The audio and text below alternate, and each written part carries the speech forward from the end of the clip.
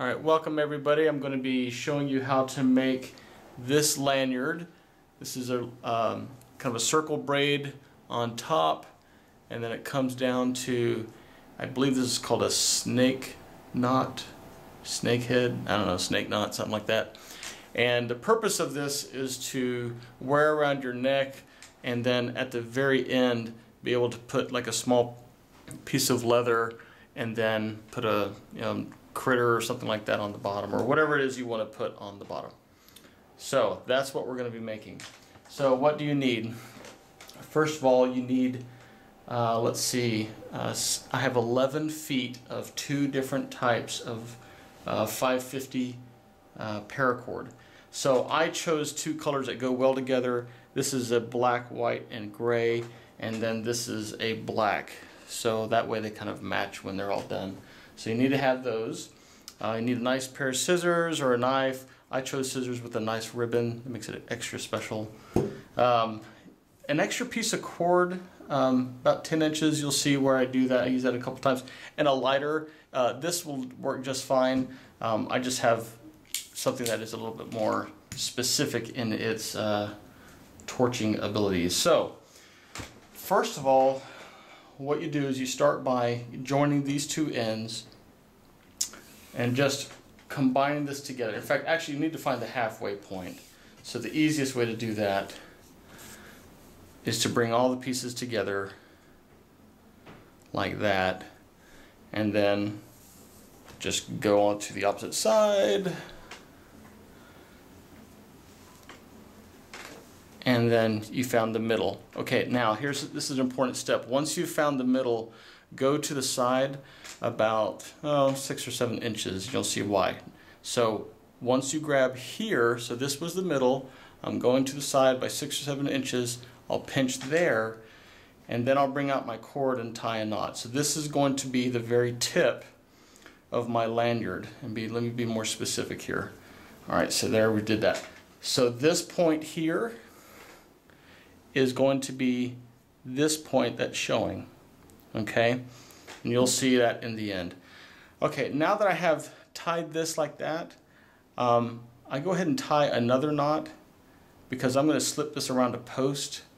Just a simple knot, one that you can undo later easily. That's kind of the point here because we want to start braiding and it's just easier if we have something to uh, kind of pull against. Okay. All right, so now I have a circle, I got that tip, and I'm ready to go. Okay, so now I'm going to show you, so you see I just put this around a, you know, a chair or something like that. It can tie to anything, you can put it around your toe if you want. Um, okay, so I have one on top, and that's just going to be my multicolored one here, and then one on the bottom, that's my gray and then I'm going to start my weave. Now this is a simple weave, but I'll go slow so you can kind of see it. Um, it's a two-step weave. Um, okay, so with the top braid, I'm going to go uh, left, uh, the left piece and the right piece are going to come in together like that, okay? Let me see if I can pull that up just a tad here. Okay, so the left piece and the right piece come together and switch sides like that. Now what's important is that this they always move in the same direction. So this left one um, will go in the back and this one will go in front. So they pass by each other. The one on the left will always go behind. Okay, and now I do the same thing with the black. So while I'm kind of holding it, the black will do the same thing. I make my back one always come forward and the front one go to the right. See how that's going to the right like that? Okay. And then I just kind of cinch it. So I do the same thing. These two go back, they trade sides, and then these two trade sides. Cinch. Okay, let me back up just a tad.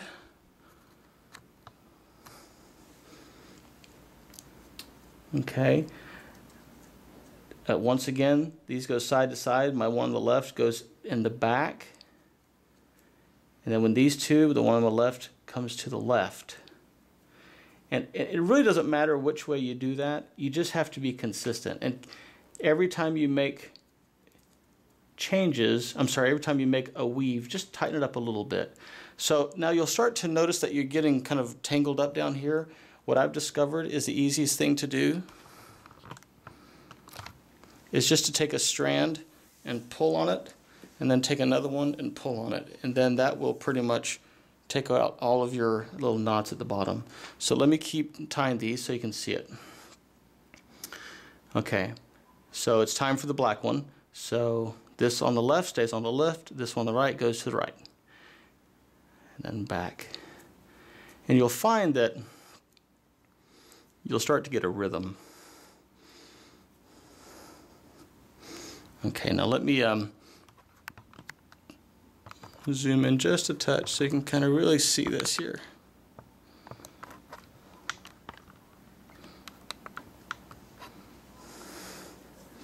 Let me pull out my strands. Okay. So this one goes like that. And now I hold them and then they, this goes on the side. The right one goes in front, the left one goes behind it.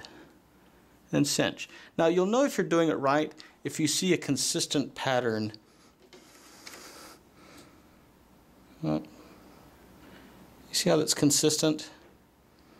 Every single one, um, they move kind of in a slant direction and they move in the same way. Each one now, the, the opposite color will go the opposite direction. You'll see that. So kind of keep an eye on it to make sure that it stays kind of the same tension, um, although that's not totally important because that can, uh, you can kind of massage it a little bit like that and fiddle around with it and it will kind of come out like that. Um, so that is that. I'm going to back up a little bit and let you watch this whole thing from afar. Now, a lot of the videos zoom past this part because it's kind of tedious to watch. I get that, but I really wanted to watch somebody do this. So I'll put in some time frames where you can actually zoom the video ahead if you want to skip this part. See now there's, it is starting to crumple up there. So just pull a couple of them out and that loosens everything right back up. Okay.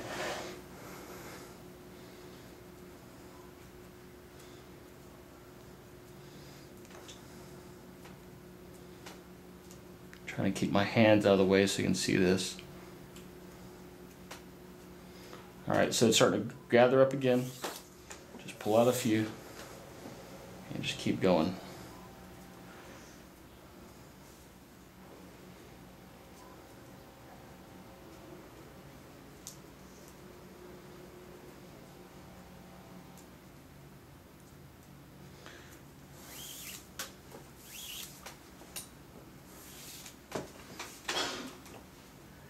So what I'm going to do is I'm going to continue on till I get down close to where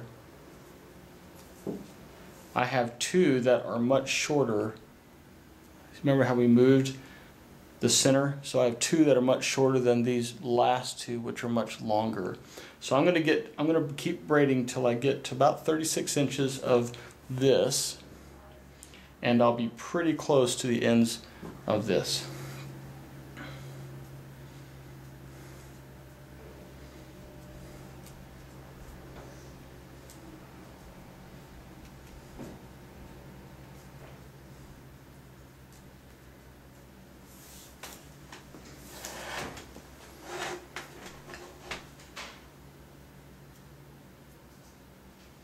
Just checking my braid to make sure that it stays consistent as I look up the rope or the braid to make sure that all of those um, lines are kind of going the same way.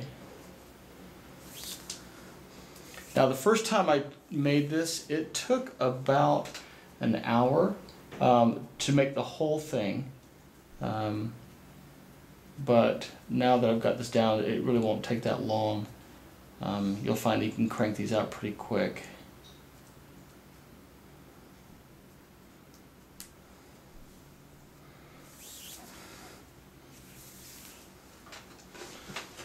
having to move the chair back. All right.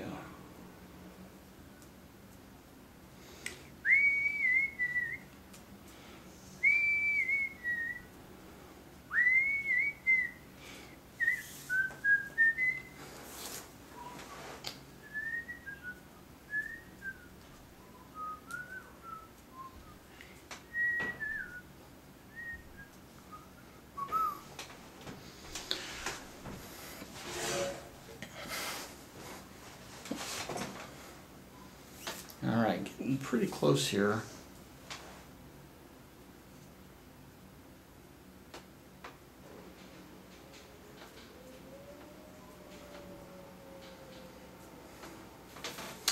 Let me do one that's wrong, just to kind of show you what it looks like. I'm gonna mess this up on purpose. I'll do just one stitch that's wrong. So actually, you know what? You can feel it because it's not, when I try to tighten it up, it didn't, I, I know immediately that I did something wrong. Because they have to cross against each other. So if you're cinching after every two knots, you'll feel immediately if you did it right or wrong. All right. I'm going to stop and measure, see where I'm at.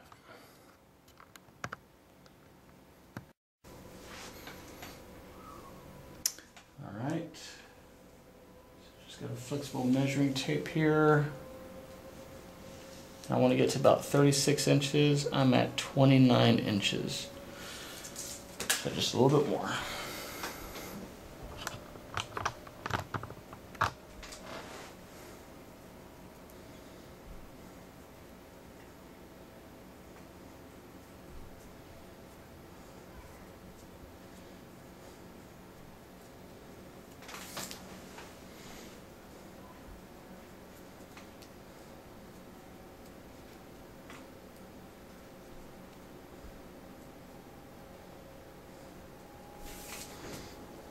Okay, let's stop and measure again.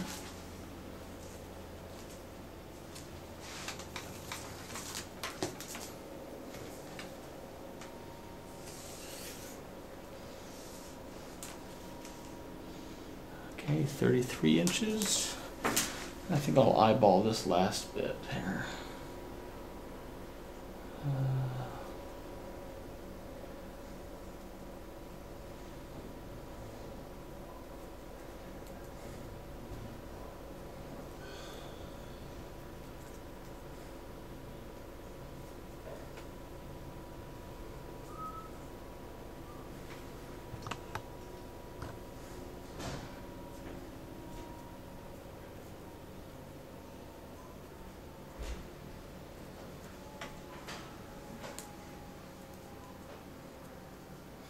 All right. I think I'm about there. Okay, so just gonna look, make sure that I'm good. Um, I think that's all correct there. Okay, good. So now what I'm gonna do is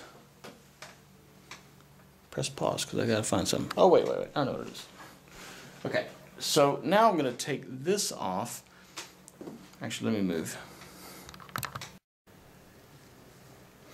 Okay, so I moved back over here so you can get maybe a better view. I'm just going to measure what I have braided so far. Make sure I'm really close to, well, I was at 35 inches, really close to 36. All right, so that's fine. we're good. And maybe just for grins and giggles, I'll just do a few more here. It's, it is definitely not as easy when I'm not pulling against something here. That's fine. Okay. Now the trick is this. Um, look at your remaining braids and you'll identify two that are smaller. Remember we moved the center uh, off by about six inches, six or seven inches, which created a double length here, which made it this long. Find the two long pieces and move them up. Just get them out of the way, kind of isolate these guys, okay? Now get the other side with the green loop or the extra piece here that you tied against the chair, undo it, and what I like to do here, and this is just for for me because it's a little easier, I'm going to take this up here. So I have my two strands. I have what I've braided so far, and I have the two long strands, and I'm just going to tie this up for just a second to get this out of the way so I don't confuse it. Okay? So now I'm going to come down to here, and if you aren't aware, I didn't know this until I made these, the snake knot, um, I'm sure it's called the snake head knot, but anyway, the snake knot wraps around this bottom piece, okay? So what I need to do is to attach this side of the lanyard that I've just braided to the first part of the um, braided lanyard. So what I do, I'm going to zoom in here for just a little bit. I identify the piece that's going to be um, the very, very end, which Remember how I said that my multicolored one was going to be on top, so now it's at the very bottom. Um, you know, because I was braiding like this. And I count up six black rings. One, two, three, four, five, six. Let me move this out of the way so you can see it more easily. Okay, so there's the bottom. One, two, three, four, five, six. On that sixth one, I'm going to pull it apart like that. Okay? And I'm going to get these two short pieces that I have isolated and I'm going to feed it through these this knot like this. Okay? Now this will officially attach it, attach the two sides together. Sorry, I'll try to stay in camera view here.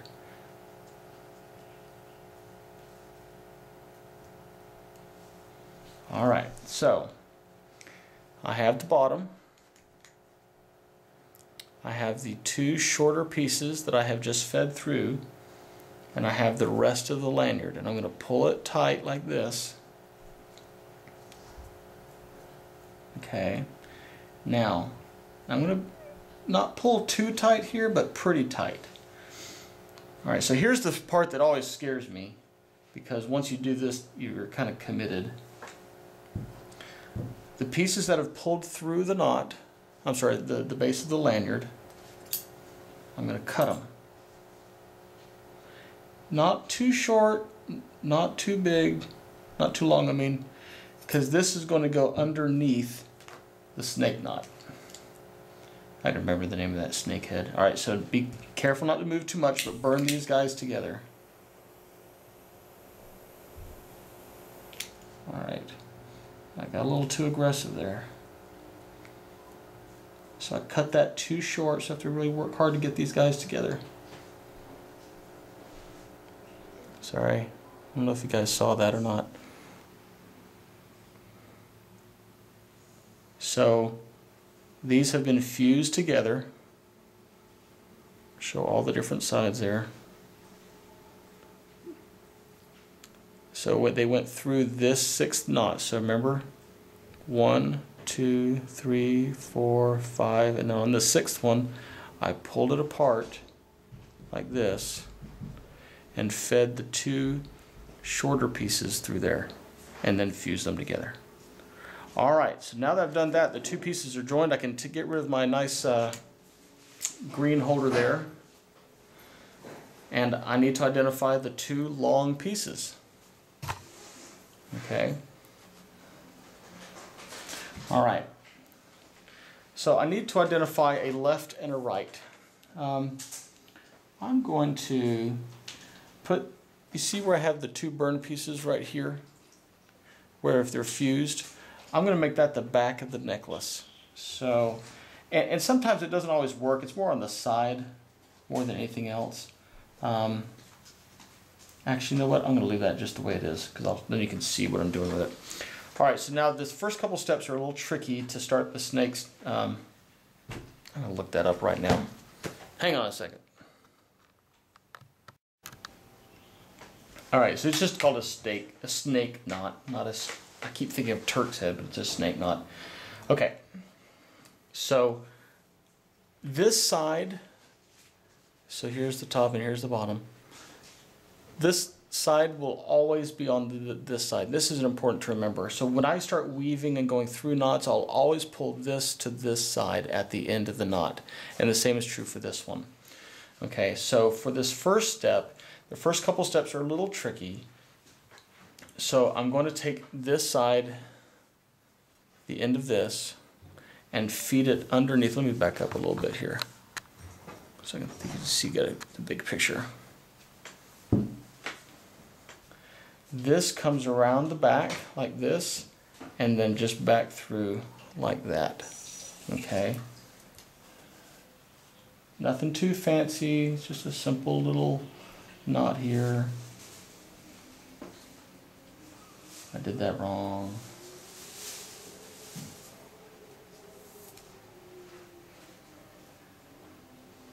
Okay, all right. So what I did wrong, just because it's, I'll show you because it's a good example, is I had the loop up like this and then went through.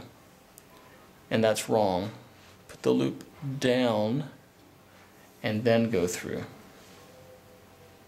So it's, and this black cord is going to be inside the loop. So I'm going underneath everything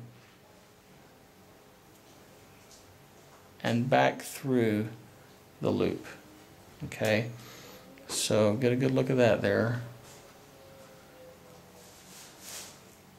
So I can tighten that up a little bit. You'll still see if it adjusts here. Oh, hang on. Okay. You can still see the burnt part right here where I singed it together. Right there. And I'm putting it just above the knot. So I'm going to pull that around. Okay, good. Now, the black side, so we put the gray one off to the side. The gray, the black side's a little bit the same and then I make a knot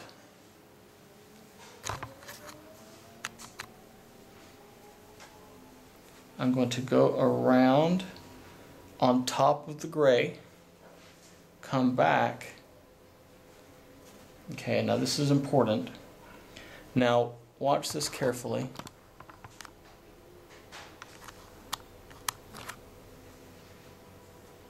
This is the gray one that I just sent through. I'm going to loosen that a tad and bring it, bring the black end down into that loop and then pull it to the side back towards remember the black always goes to the side so pull it to that side this is the hardest part so if we just get through that you'll be fine so here's the loop I made it went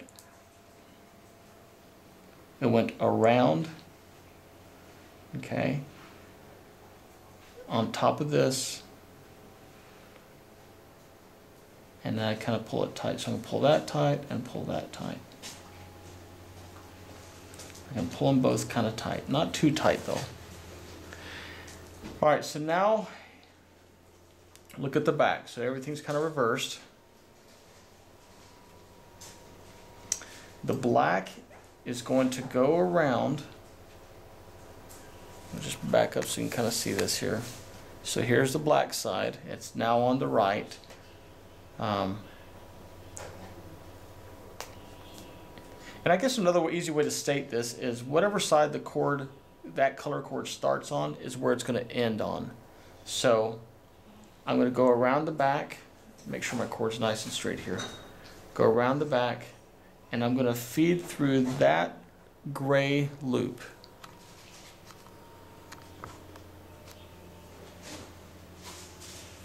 So I'm going to loosen it just a touch and feed through this loop. At this point you're going, this is way harder than I thought. I swear, it, if you just kind of follow it, it, you'll you'll try it a couple times and make a few mistakes. Just pull that. Now, when you pull on it, make sure that the loop that you just created goes underneath the other paracord that's already there. You don't want it to go on top or anything like that. That's wrong. Have it go underneath. Because remember what the end result is, right? So they need to be, they need to kind of stay in line there. All right. So I kind of pull that tight. So I have two black and one gray. And, a, and this gray is coming out the side. All right, so now I'm going to flip this way. And so that's we basically, now you know everything, we just have to do it over and over again. And I'll show the whole thing so you kind of get the feel of it. So I take the gray side, I'm going to loop around the back, I'm going to pull the second loop here. So there's one, two black loops. I'm going to pull the second one, the bottom one, feed it through, and then pull it back to the same side. Okay, once I've done that, then I can pull that black side to tighten it. I want to make sure that this is underneath. And then I can tighten that just a little bit, not too tight because you end up having to undo it again. Okay, so we're starting to see the pattern here just a little bit. And on, on the back, um, you'll see that I need, I have these two here. All right, so let me just do a few more of those and I'll get to the end here.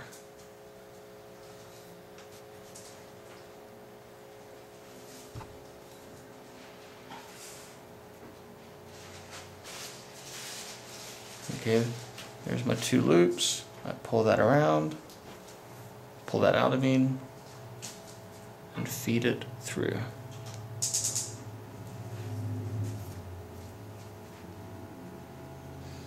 Like I said, the first one will take a few, a little while. I see you got my two loops there. So I pull on the second one, take the black one, feed it around the back, and pull it back down hit the camera. Okay, flip it around. I see my two blacks, sorry, two blacks right there. Feed it around. Pull it through. Tighten it up just a little bit. I just keep doing that over and over. I see I got two loops here. Pull it out a smidge. Loop the black around come through. Now the black does not intersect itself. It just go, it basically just wraps around. Meaning it's not going back through itself in the loop.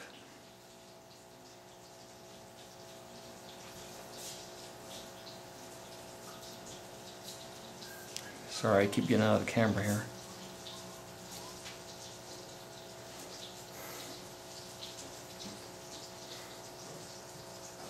All right, let me finish up. Okay, I'm going to change the angle here just a little bit to make sure you guys are getting this. So here I can see that I have these two that um, are going to happen next. I need to take this black one, come around, loosen up the bottom, and then feed the black one in there and just pull it through and just check the bot check the back to make sure that you know that next strand is going underneath. And then you know just pull them tightly just a little bit here. Not too tight. Flip it over. And there I see I have two strands right there. So that's my indicator that that's next. So take this side go back around. Feed it on through Give it a gentle nudge or tug, flip it over.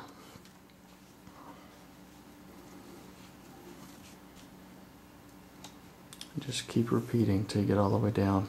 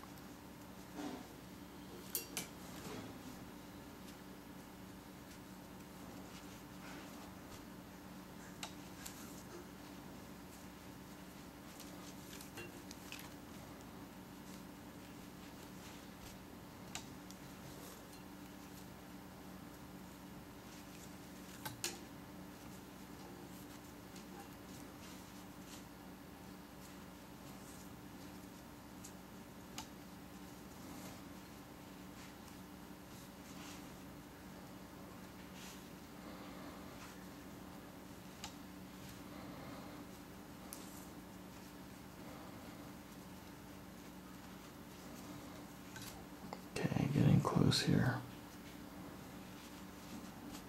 Three or four more.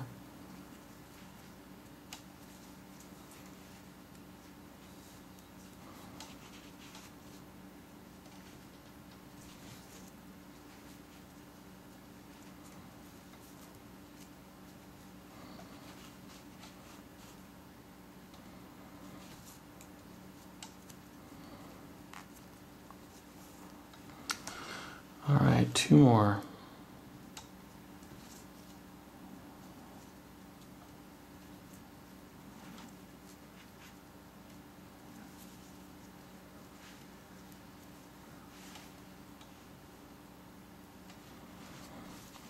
All right, I think I'm done here at the bottom.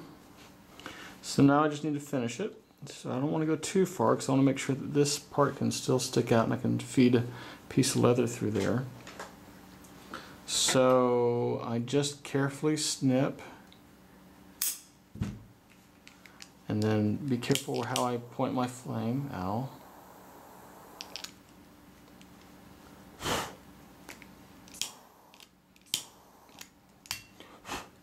Alright, same thing on the other side. Leave a little piece of plastic on the wife's uh, towel. Tell no one.